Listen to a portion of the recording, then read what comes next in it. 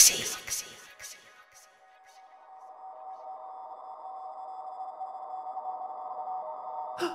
What? What's happening? Where am I? Nixie! Nixie, can you hear me? Hello? I, I can barely hear you.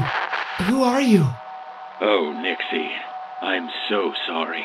I know you must be in a state of shock right now, but please allow me to explain everything. All right. I can hear you much better now. I'm listening. Well, my name is Dr. Lionel Abrams, and I'm the man that created you, Nixie. I see. But I created you for a very specific mission. One that is of deep personal importance to me. You are being dispatched to the colony of Crux Hysteria, a world once shared by humans and androids that fell victim to insurrection around 10 years ago. Nixie, we believed every human who had ever lived there had either escaped or perished in the dreadful incident. But that was until just recently. The Union of Human Affairs picked up a rather implausible distress signal. I didn't believe it at first when they told me. But when I saw the message for myself, I was shocked. It was coming from my own son, Linus. He's still there, alive.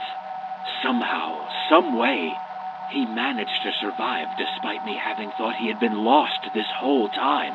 Oh my god. Do you have any idea where he is? That is going to be the difficult part. Your mission won't be easy, but it is simple. Find my son and rescue him any way you can.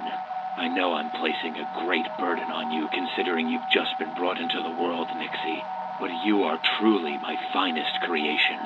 You'll be landing shortly on one of the abandoned import docks of Port Valius, so hopefully you can sneak in undetected. Please be careful, Nixie, and trust no one. All right. I understand the mission. If this is what I was built for, I won't let you down, Dr. A. Thank you, Nixie. We shall speak again soon. Good luck.